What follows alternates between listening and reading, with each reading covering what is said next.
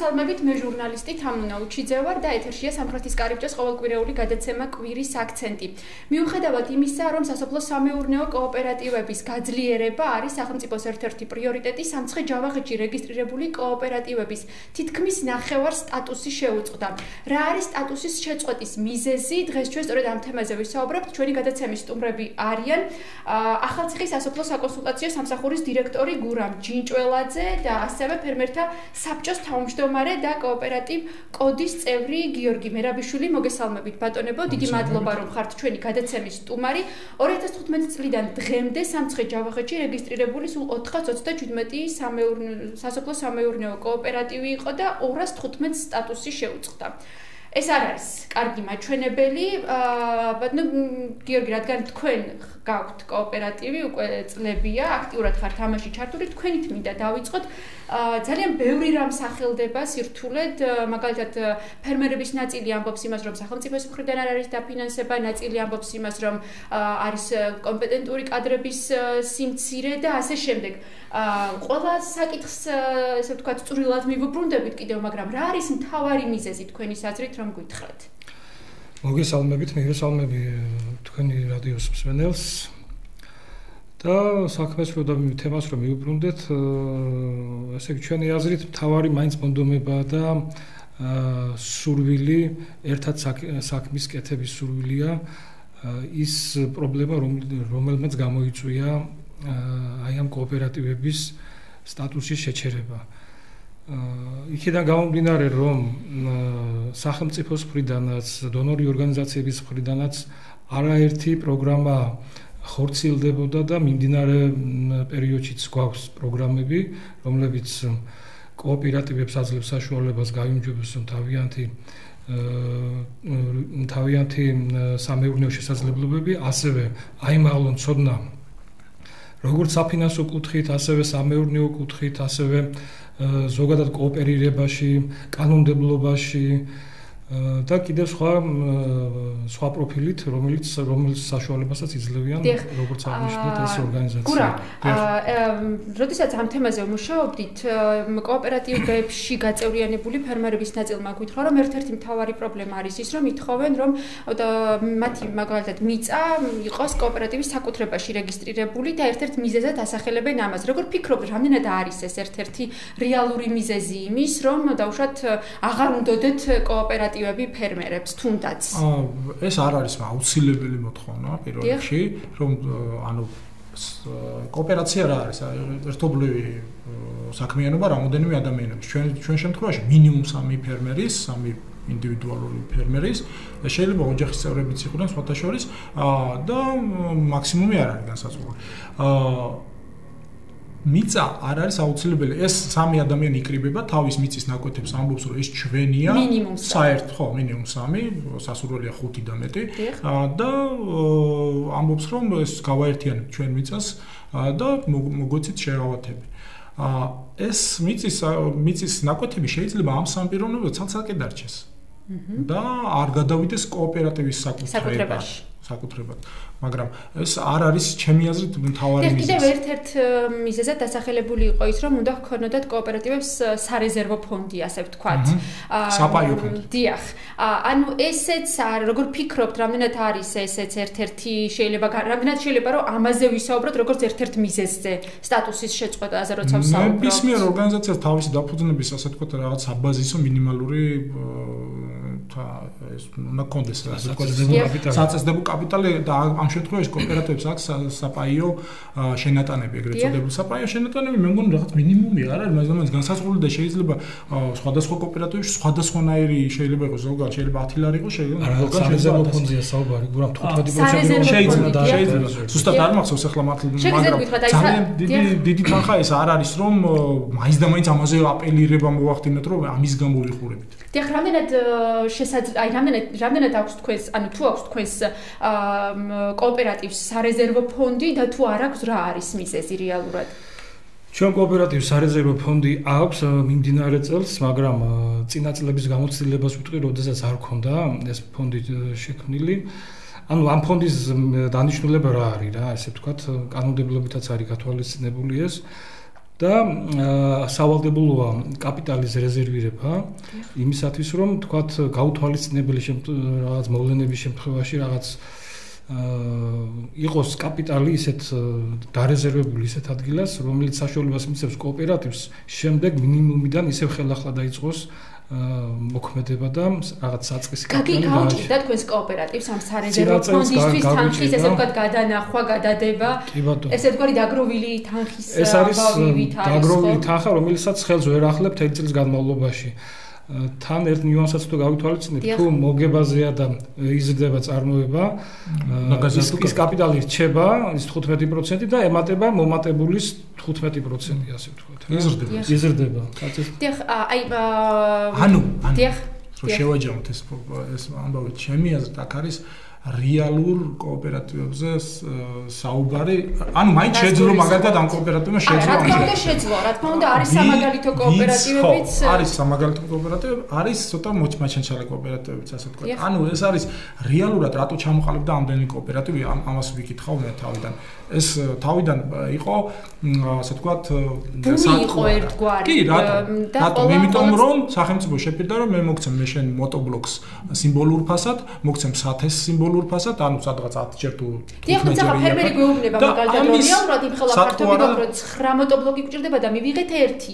და ისინი აცხადებენ, რომ ვიდრე მაგალითად მებოსტნეობას უფრო მეტად ხელს უწყობს სახელმწიფო, მეფუტკრეობას, მესაქონლეობას, რომ რეალურად რამენად არის ასე. ანუ მე ის ასე ვთქვათ, კიდევ გადავხედე პროგრამებს, ეხლა არსებულ პროგრამებს და მიმდინ წარსულ გასულ პროგრამებს, რომელიც კოოპერატივების აგენტომ განახორციელა სხვადასხვა დონორ ორგანიზაციებთან ერთად და შეიძლება გამოვკვეთოთ ორი სექტორი. პირველი მეფუტკრეობის სექტორი, რომელიც ასე ვთქვათ, ერთგვარი ყველაზე პრიორიტეტული, საჩვენებელი და პრიორიტეტული სექტორია. და ყველაზე მსუყე მიდის ამ მიმართულებით. და არანაკლები, არანაკლები ახლა მერძეული მიმართულებით საკმაოდ დიდი თანხები იხარჯება აქაც. ანუ შეგვიძლია ვთქვათ, რომ ფერმერების გულის წვეტა გამართლებულია ამ შემთხვევაში და შეგვიძლია ვთქვათ, რომ სხვა სექტორის მოსტნეულში ვინც არის სიტყვაზე ჩართული და ასე შემდეგ, ხო? იქ შეიძლება თქვა, რომ უფრო იჩაგრებიან იგივე მეფუტკრებთან შედარებით, იმიტომ რომ იქ უფრო მეტი პრიორიტეტია. სწორია ეს პრიორიტეტების მაინც ესე განსაზღვრა.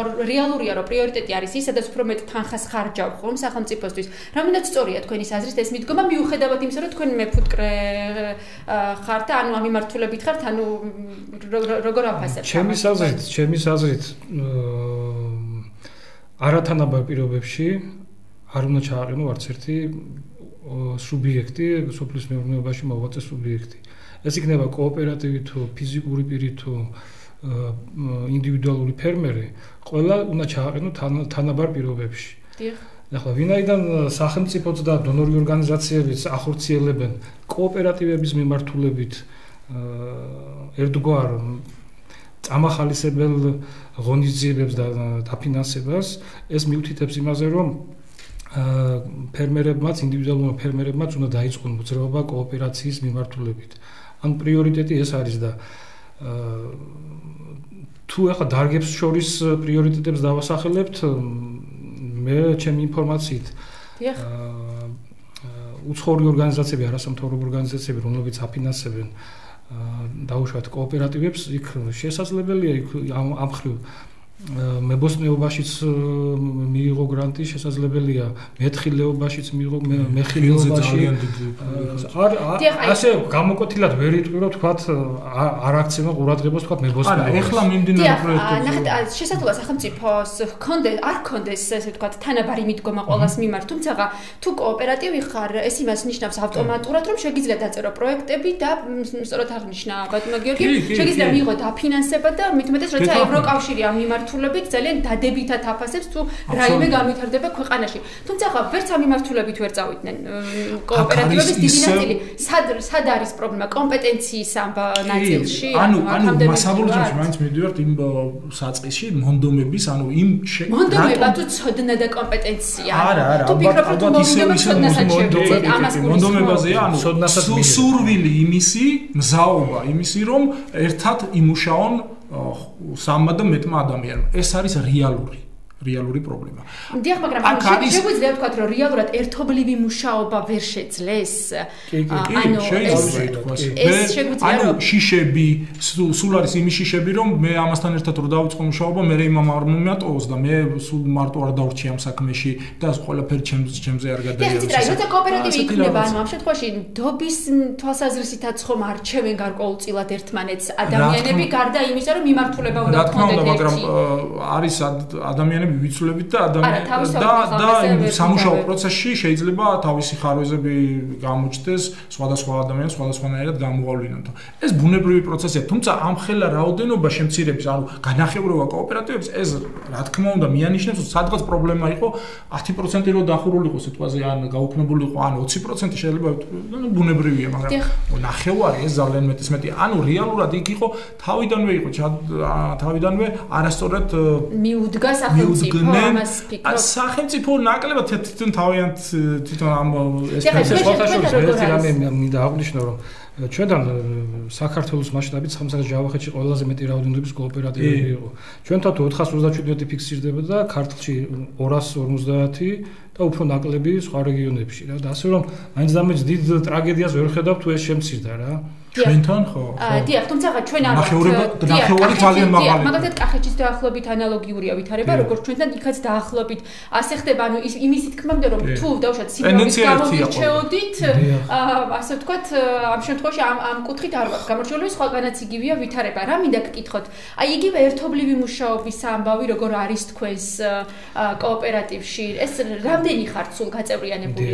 ბატონო, მოგახსენებთ, ესე კოოპერატივში 11 წევრი ვართ გაწევრიანებული, მათ შორის 4 არ არის პატარა ციფრი, მათ შორის 4 ქალბატონია. ჩვენ ახლა ჩვენი სპეციფიკიდან გამომდინარე, მეფუტკრეობის სპეციფიკიდან გამომდინარე, ვერ კოოპერირებთ ჩვენი კოოპერატივის წევრები საბოლოო პროდუქტის გაერთიანებაში და რეალიზაციაში ვერ კოოპერირებთ. რატომ? აი რა სად არის პრობლემა? იმიტომ რომ ჩვენ შემთხვევაში, კონკრეტულად მეფუტკრეობის შემთხვევაში პრობლემაა ლაბორატორიის ლაბორატორიული კვლევების ადგილზე არ ქონა. ანუ ჩვენ ვერ ვიკვლევ წინასწარ არ ვიცით ვის რა თაფლი აქვს.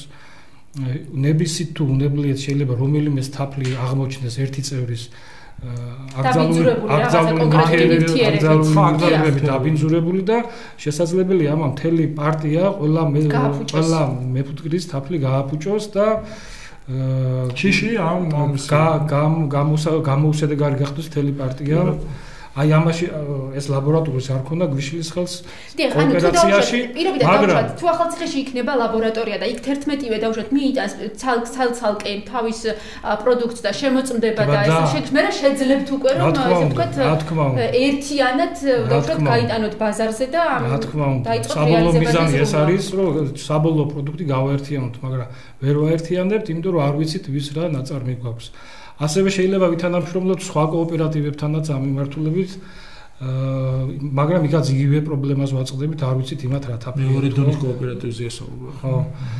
აა აი ეს არის ხელისშემშელი პირობა. დიახ, კიდევ ერთი. მაგრამ კოოპერირებთ, აი ერთი ნიუანსი მინდა. კოოპერირებთ მოვლა პატრონობაში. კოოპერირებთ აა საკვების შეძენაში და აი ერთ სხვა ისეთ პრეპარატების პრეპარატების შეძენაში, წამლების შეძენაში ხმარებად სახელმწიფო შეგიძლიათ გითხრათ, ანუ მეფუტკრებს, აი რა სარგებელს ღებულობთ სახელმწიფოსგან თქვენ როგორც ერთ-ერთი კარგი კოოპერატივი ესე ვთქვათ.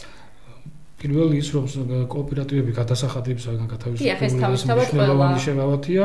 შემდეგ არსებობს რამდენიმე სახელმწიფო პროგრამა მეფუტკრეობის კოოპერატივებისათვის, რომელშიც შესაძლებელია მიიღოს მონაწილეობა ნებისმიერ მეფუტკრეობის კოოპერატივმა, ჩაერთოს, მიიღოს მაგალითად თაფლის შესანახი ჭურჭელი 30%-იანი თანადაფინანსებით, დასაწური ციბრუტები, სკები აი ახლა გამოცხადებული აქვს და აკეთებს კოოპერატივის მართვის სააგენტოს დაფინანსებით ერთ-ერთი კომპანია თაფლის დიდ გადამამუშავებელ საანქროს, რომელიც დიდ მასშტაბში გორში დიახ. დიახ. აი ეს ბენეფიტები აქვს. ეს ყველაფერი ძალიან მნიშვნელოვანი ბუნებრივია განვითარებისთვის. რეალურად რო შევხედოთ, ხო, სახელმწიფო ერთი მხრივ სწორედ სწორედ იქცევა იმ იმ კუთხით, რომ არ ერევა უხეშად. ამ ამ ამ ბაზარში ასე ვთქვათ და არეგულირებს. მართლა მართლაც არეგულირებს. მართლა ახლა თუ არ მუშაობს კოოპერატივი გეუბნება არა უნებრივია ამაზე არავინ არ დაობს თუ კოოპერატივი არ მუშაობს ის უნდა შეძლებს შეღავათებს ხო ბენეფიტი სახელმწიფოს გაძლევს შეღავათებს გაძლევს ყველაფერს. ანუ რეალურად აქ კოოპერატივის გაუქმებაზე კი არ არის საუბარი. სტატუსის შეწყვეტაზე რომელიც შეიძლება ისე აღადგინო თუ მოაწესრიგებს გაგესინჯა აღადგინო თუ თუ ცოცხალი ხარ? ასე თუ შეიძლება მოინდომიტო ისე აღადგენ ამ შეიძლება განაცხადოს რომ მე უმუშაობ ისევ. დიახ, აი კიდევ ერთი რაზეც აქცენტს აკეთებდნენ ფერმერები ჩვენთან საუბრის დროს. ერთია ის, რომ რეალურად გამოიკვეთა, რომ ერთობლივად მუშაობა ვერ შეძლეს ამ ადამიანებმა, მაგრამ მეორე რაც მთავარი ბუღალტერიის გაკეთება უჭირდა ყველას. ანუ მაგალითად ერთ-ერთი ფერმერი აწყურის ნობათში გვეუბნება, რომ 500 ლარი მომთხოვა ბუღალტერმა და ჩვენ რეალურად ამის საშუალება არ გქონდა, ანუ აა. ანუ აკაც კომპეტენციასთან მივდივართ, ხო? რეალურად ანუ რა არის, სხვათა შორის იყო სხვა არ ვიცი ხლა ამ კონკრეტულ ამ კოოპერატივ შემთხვევაში როგორ, მაგრამ თვითონ კოოპერატივების კონდეს რომ იქირავა, კოოპერატივის მარტის აგენტო თავიდანვე ჩართული იყო ტრეინინგები ჩაეტარებინა და ტრეინინგები ჩაეტარებინა ზუსტად ამ ამ კუთხით, ფინანსური და ბუღალტრული კუთხით კოოპერატივებისთვის. და არ ვიცი ხლა რატო არის წრებოდნენ შეიძლება რამდენჯერმე ჩატარდა სხვა და არა მარტო თვითონ კოოპერატივების მარტის აგენტო, არამედ სხვა დონორი ორგანიზაციები სისტემატურად ატარებენ სხვადასხვა გრანტების მოპოვების ანუ აპლიკაციების შევსების დროს ანალოგიური მას რომ როგორ უნდა ჩვენ მაგალითად სამი სამი ორგანიზაციიდან მივიღეთ მსგავსი ტრენინგი რა. ვინ აკეთებს? ხანდახან სიმართლე სიმართლე რო გითხრათ მე ვიცი ძალიან ბევრი ადამიანი კოოპერატივების წარმომადგენელი ვისაც უკვე ყელში აქვს ეს ტრენინგი. დიახ, ამბობენ და კიდე ყელში აქვს ტრენინგები ერთია, მაგრამ თუ ვინ მიაკეთებს, შემდგომ უკვე როგორც ფერმერები ამბობენ, ანუ რეალურად გადადის ერთი ან ორი ადამიანის კისერზე მთელი ეს ტვირთი კოოპერატივში და მოკლედ ამასაც ამაზეც არის ხოლმე შიგნით დავთქვით ამ ვინ აკეთებს ბუღალტერიას ჩვენ ბუღალტერი გვაქვს ბუღალტერის ყონა კოოპერატივებისთვის და არა მარტო კოოპერატივებისთვის ფუფუნებისაგანია თან ახალციხეში იმიტომ რომ ბუღალტერები წევრია ბუღალტერი თუ დაქირავებული ყავთ ანუ იქირავეთ თქვენ. თუ არ არის საიდუმლო რამდენ ლარს უხდით იმას თუ შეგიძლიათ რომ გითხრათ? ამ ეტაპზე უხდით 200 ლარს დიახ. ანუ ჩვენთან ის ამბობს რომ 500 ლარი მომთხოვა მე ბუღალტერმა ანუ გააჩნია რა რა საკეთებს რა რა რა წარმოდობა აქვს რა შეიძლება იმ ხელა წარმოდობა ქონდეს შეიძლება 1000 ლარის მოითხოვოს რა. კი ბატონო. ზოგადად ბუღალტერი პრობლემაა ახალციხისათვის მაგრამ თუ ამ პირმა ნახა ბუღალტერი და 500 ლარი მოთხოვა ეს ხო არის საკმაოდ დიდი თანხა საკმაოდ დიდი თანხა ესე იგი რაღაცა საკეთებს სერიოზულად ანუ ბრუნვა აქვს ბრუნვიდან გაითვლიან როგორც ესე ბოლოს აა ეს არის დამოკიდებული იმაზე კონკრეტულ კოოპერატივს ბრუნვა როგორი აქვს ხან როგორც წესი მაგით იცი დიახ მართალია თქვენ თქვით რომ დავუშვათ ბევრი ტრენინგი ჩატარდა მაგრამ აღმოჩნდა რომ რაღაცნაირად მაინც არ იყო ეს საკმარისი ხომ? რამდენად შესაძლებელი იყო სახელმწიფოს გაეთვალა კომპეტენციის საკითხი როდესაც აი აი ამ კოოპერატივებს აკეთებდა ან რაც გათვალა რამდენად სწორად გათვალა ან აი კომპეტენციის საკითხები უნდა გაეთვალა დამფუძნებლებს მეპაი როდესაც შეუძლია თუ არ შეუძლია ხო ამი ამ საქმე შეჭედება შეუძლია თუ არ კომპეტენცია ერთია მაგრამ მეორეა სხვა სხვა რაღაცაზე წავიყვან საუბარს. რას გულისხმობ ანუ თვითონ ბაზრის ასე ვთქვათ სასოფლო სამეურნეო ბაზრის სტაბილურობას შევეხები რა. ანუ იგივე მეკარტოფილეობას თუ ანუ არის მეფუტკრეობის კოოპერატივები, არის მეცხოველეობაზე ორიენტირებული კოოპერატივები შექმნილი, მერძეულ და არის კიდე მებოსტნეობაზე შექმნილი, მებოსტნეობაში რომელიც მეკარტოფილეობას მოიცავს. აი ეს ძირითადად სამი ტიპის კოოპერატივებია სამსხეჯავახეთში. აა თუ შევხედავთ რძის ბაზარიც ძალიან ისეთია, მერყევია, შეიძლება ითქვას დეფიციტია. ხო, დეფიციტია და კიდევ სხვადასხვა პრობლემები აქვს, უფრო მეტი პრობლემა ვიდრე მაგალითად მეფუტკრეობას ჩემი აზრით და აა მებოსტნეობას, მაგრამ მებოსტნეობას თავისი უზარმაზარი პრობლემები აქვს. ეს არის სხვა ასე ვთქვათ ტალღისებური ბაზარი სხვადასხვა წლების განმავლობაში. მაგალითად იგივე ხახვი ელემენტარულად რომ ვისაუბროთ ერთ-ერთი ყველაზე მოთხოვნად კარტოფილის შემდეგ და რომელსაც სამსხეჯავახიც აწარმოებს შარშან რიგდა სიტყვაზე 35-40 თეთრი ახლა ღირს ლარნახევარი. მომავალწელს ისევ ისე იქნება. ასეთ როგორც გახდა ლარდახევარი დაწესავს ძალიან ბევრი ადამიანი შედგომეცემა ფასი როგორც სამცხე-ჯავახეთში გვაქვს ანუ არასტაბილური არაყი არას კომბოსტოს იგივე კარტოფილისაც და ასე შემდეგ ეხლაც კარტოფილიც ეხლაც ძალიან ძვირია იგივე შარშან შარშანწინდელთან შედგება განსაკუთრებით შარშანწინდელთან შედარებით. აა და აქ არის აი ეს ზუსტად ეს პრობლემები. ანუ გლეხი ვერ ქმნის დოვლათს რომ აი ზუსტად ეს ბუღალტერს ფული გადაუხადოს. ოჯახი შეინახოს. რეალურად ვერ ძლიერდება კოოპერატივები იმ ტემპით, როგორიც უნდა თვითონ სურვილი აქვს და მე ხელს იქნევს. აი ეს არის თამაში ხელშეშლის ბაზარის ბაზრის არასტაბილურობა. არა, ბაზრის არასტაბილურობა უშლის. ჩვენ გაგაიგო ბევრმა კოოპერატივის წარმომადგენელმა რომ სტატუსი ქონდა შეჩერებული, ამასაც კი აღარ კითხულობენ ადამიანები, რომ ურეკავდით რომ რატო შეგიწყდა სტატუსი, არის ცოდნენ მათ. ანუ მათ უკვე ესეც აღარ აინტერესებს. რეგისტრირებულია ბაზა და ეს გია საჯარო გია მონაცემია დიახ, ანუ ჩვენ რამე საერთო ინფორმაციაზე ესე ვთქვათ არ არ არ გვინახავს. ესე ვთქვათ გამოსავალზე როცა ლაპარაკი ლაპარაკი საუბრობენ იმაზე, რომ კანონმდებლობა გამარტივდეს, გაჟღერდა ესეც მოსაზრება. თუ დავშოთ ამ მიმართულებით ვიფიქრებთ, რომ რაღაცნაირად კოოპერატივთან მიმართებაში საკანონმდებლო, ესე ვთქვათ, სისტემა გავამარტივოთ, რა იქნებოდა რიგით პირველი, რაც რაც მიგაჩნიათ საჭიროთ, რომ აი ამ მიმართულებით კარგი იქნებოდა ფიქრი და გამარტივება. კანონმდებლობის გამარტივებაში ვერ ვერ ხვდები რა უნდა გამარტივდეს რა.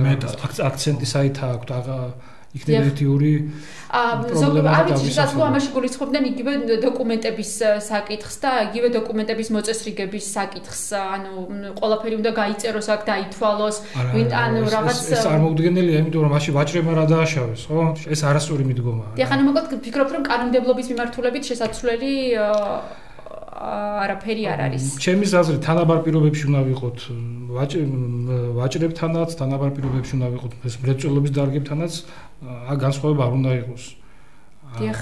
იგივე შეღავათებით შეღავათებით საგადასახადო შეღავათებით საკმაოდ დიდი შეღავათები გვაქვს. ეხლა ეხლა არის მაგრამ დეკლარირებული ეს სახელმწიფოს მხრიდან რომ ეს იქნება მე მგონი 2020 წლამდე თუ არ ვცდები და მე უკვე რაღაცა რეგულაციებიც აქაც შემოვა კოპერატივები კი გადასახადები და ასე. აა ასევე საუბრობენ იმაზე როდესაც კომპეტენციაზეა ლაპარაკი რომ შესაძლოა ერთ-ერთი გამოსავალი იყოს ის რომ დაუშვათ პროფესიულ სასწავლებელში უფრო მეტი ახალგაზრდა მივიდეს სასწავლებლად და ასე ფიქრობენ რომ რეალურად დაუშვათ შედაც მაგ უფრო მეტი ახალგაზრდა შეძლებს რომ თუნდაც იყოს კარგი მეპაიე კოოპერატივში. როგორ ფიქრობთ, რამდენად არის ეს საერთოდ გამოსავალი?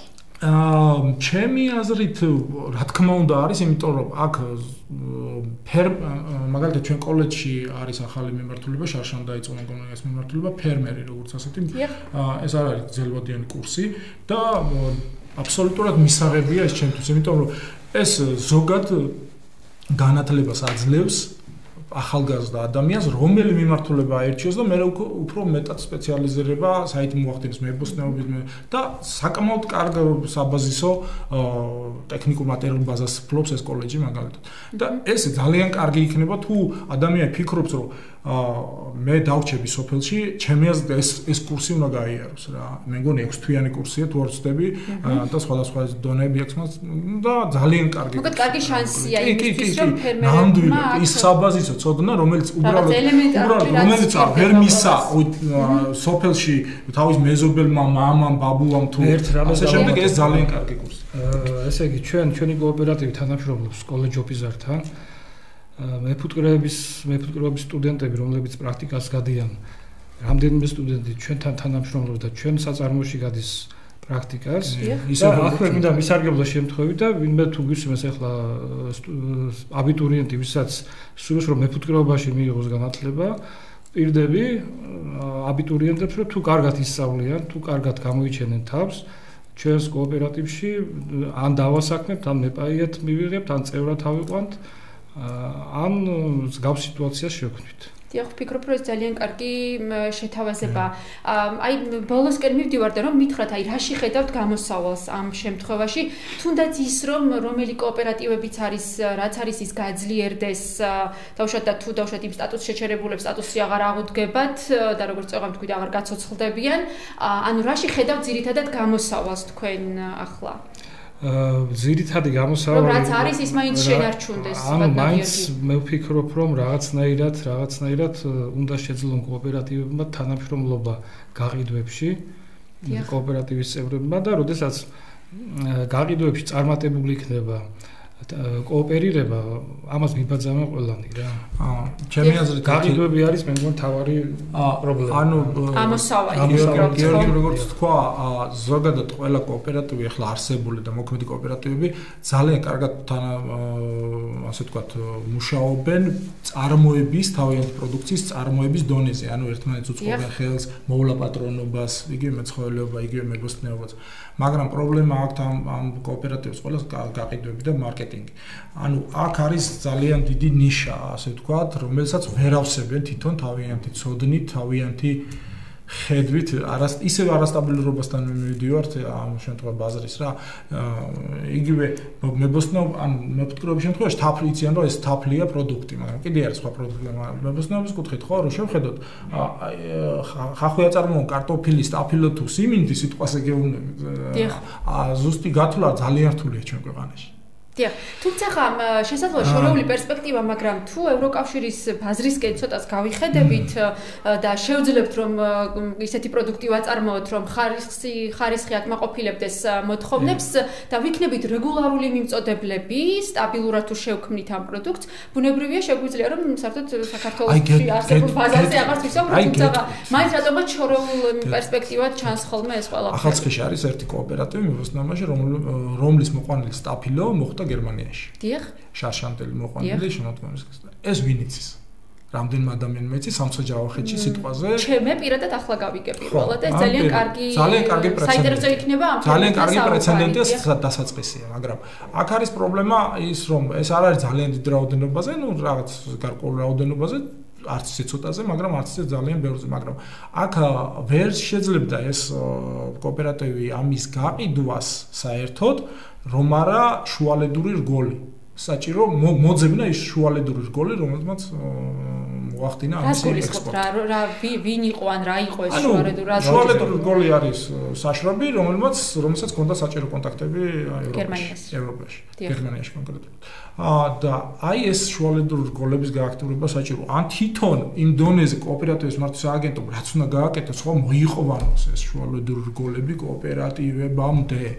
როგორმე და გააცნოს გააკავშიროს ანუ სულ ვზივართ ჩვენ ვამბობთ რომ ევროპაში გვინდა ჩვენ პროდუქტი გაიყიდოს მაგრამ როგორ უნდა მოხდეს ეს ტრანსპორტ, ანუ ლოჯისტიკის, ტრანსპორტირების, მარკეტინგის, შეფუთვის აი ძალიან ბევრი ბოდიში და გაგებაში არა ვარ და ამისი ძალიან ბევრი წვრილი დეტალია ჯერ მარტო ის რომ მივიღოთ უნებელი პროდუქტი, ჯერ მარტო ეს არის მთელი პროცედურები არა. კი, ეს ერთი, რა თქმა უნდა, წარმოების დონეზე და მე უკვე გადამუშავების და შეფუთვის და როგორც პრეცედენტი გამოჩნდება, მერწმუნეთ რომ დიდი შანსია რომ ფეხს აუწყობენ ყველა ფერმერები რა. პრეცედენტი უნდა გაჩნდეს და გამოჩნდეს წარმატებული კოოპერატივი, წარმატებული კოოპერაცია და მერწმუნეთ რომ ამ ამ კოოპერატივის გარშემო დაიბადნენ, მაგრამ ისე უმეორე თუ არა კონტაქტები ისე არაფერი არ გამო. ჩვენ რეალურად კი კოოპერატივების მე გამიგია რომ რაღაცა ევროპაშიც მიყავთ კოოპერატივები და იქ აჩვენებენ წარმატებულ მაგალითებს, მე მე სულ მინდა რომ სულ ამ ბოლო დროს დონორებსაც შეხვედრების დროს ვეუბნები რომ წაიყვანეთ ფერმერები, ეს მართლა წარმატებული წარმატებული ტიპები, ასე ვთქვათ, კოოპერატივების წარმომადგენლები, რომ შეხვდნენ სადმე მოძებნოთ აი პროდუქტის გასაღების ბაზარი რა.